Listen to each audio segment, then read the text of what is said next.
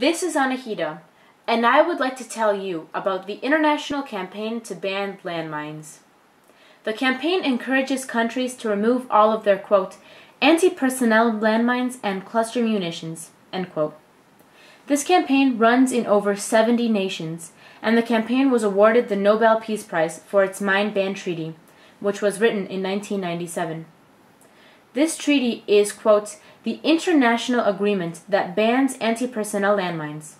Sometimes referred to as the Ottawa Convention, it is officially titled The Convention on the Prohibition of the Use, Stockpiling, Production, and Transfer of Anti-Personnel Mines and on Their Destruction.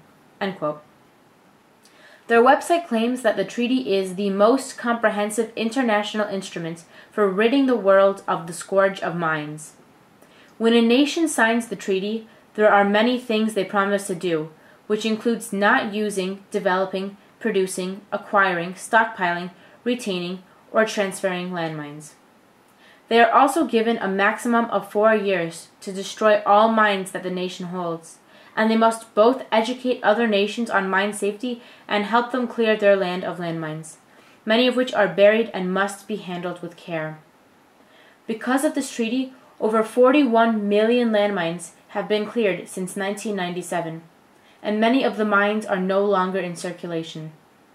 Following this accomplishment, the number of deaths due to anti-personnel mines has greatly decreased in the past few years, and according to the 2007 Landmine Monitor Report, only the governments of Myanmar Burma and Russia are landmine users, and the use of landmines is increasingly seen as a taboo.